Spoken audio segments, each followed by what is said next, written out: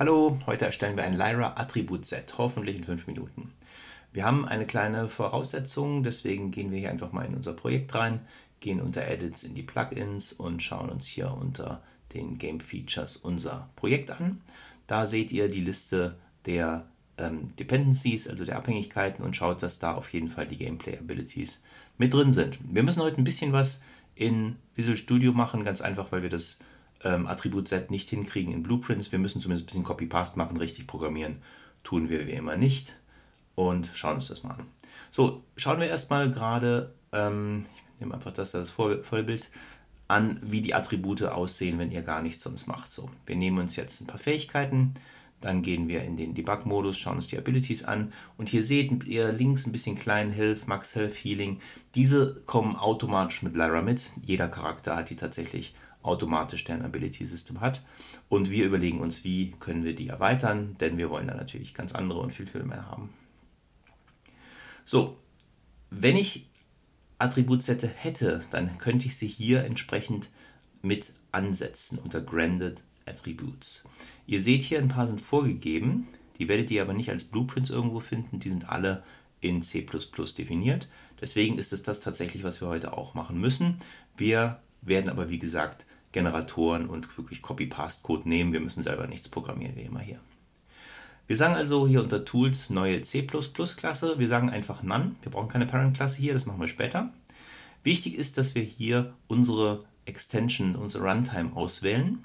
Und hier gehen wir auf Public. Dann seht ihr hier, wir haben einen Public und einen Private Folder. Und dann geben wir dem Ganzen einen Namen. Und den Namen müssen wir uns merken später, denn den brauchen wir, wenn wir unseren Code automatisch generieren. Ihr kriegt immer zwei Dateien, eine .h und eine .c++-Datei. Die .h-Datei ist, sagen wir mal, die Public, die die Methoden definiert und die C++-Datei, die implementiert die Methoden. Aber auch das brauchen wir nicht wirklich, wir copy-pasten hier.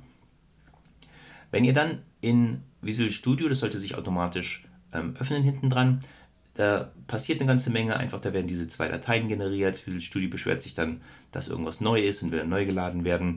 Hier geht so ein Fenster auf, wo eine ähm, Kompilierung innerhalb von Lyra schon erfolgt. Mit bisschen Glück sollte die auch grün sein. Und dann schließen wir einfach Visual Studio und gehen unter Tools und updaten einfach nochmal die entsprechenden Visual Studio Dateien, damit es aktuell ist und dann schließen wir ähm, Unreal. So, wir starten nochmal Visual Studio und wollen hier jetzt unsere Klassen implementieren. Wenn ihr hier in euer Plugin geht, dann solltet ihr zwei neue Dateien sehen und zwar einmal Attribute Set BA Default CPP und .h. .h ist immer die Definitionsdatei, CPP ist die Implementationsdatei. Was drin steht, interessiert uns aber eigentlich erstmal nicht so richtig. Wichtig ist noch, wenn ihr, wenn ihr in die Bastian Runtime Build geht, ganz unten dort, also eure Runtime Build, Plugin-Name, dann schaut, dass ihr diese Dependencies dort habt. Gameplay Abilities, Gameplay Tags, Lyra Game, die müssen alle drin sein, sonst wird euer Kompilierungsvorgang wahrscheinlich schief gehen.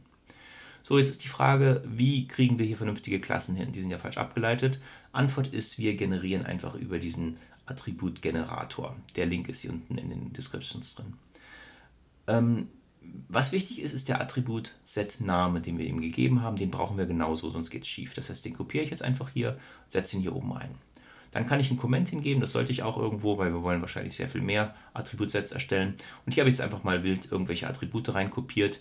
Ähm, das muss man nachher nochmal überlegen und ein bisschen intelligenter aufsetzen.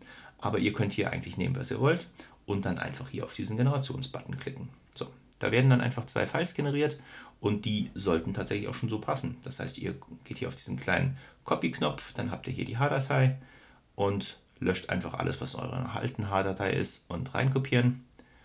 Und ihr seht, jede von diesen verschiedenen Attributen kriegt dann irgendwelche Befehle, die uns auch wieder nicht interessieren. Erstmal hier, dann habe ich die C++-Datei, genau dasselbe. Ich gehe hier in mein CPP, lösche und kopiere einfach alles ein.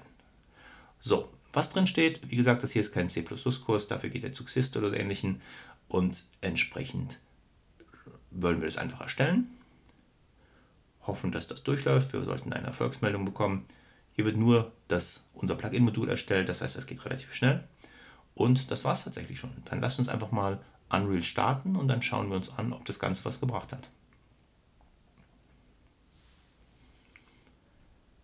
So, ein bisschen beschleunigen hier. So, jetzt sind wir wieder in Unreal und wie gesagt haben wir hier unsere, ähm, unsere in Abilities haben wir hier unsere Datei, die das Ability Set definieren kann. Und hier kann ich eben auch Attribute definieren. Wenn ich jetzt mir die Liste anschaue, tatsächlich hier habe ich Attribute Set BA Default. Das waren die Attribute, die wir eben definiert haben. Die sind schon da. Also einfach definieren, speichern und würde ich sagen, probieren wir das Ganze mal aus.